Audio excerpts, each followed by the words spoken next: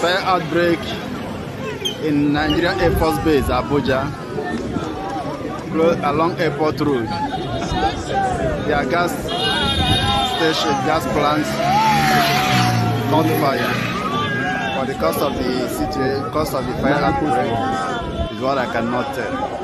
The fire brigades are doing their best, but their best is not good enough. You know, as usual with Nigeria operating. Even to me as a layman, looking at what they are doing there is not of any reasonable extent. So we are waiting, hoping that things will turn out good. So yeah, there is no other exit for us living within this area until they quench the fire before we can make our exit. So ready, formation.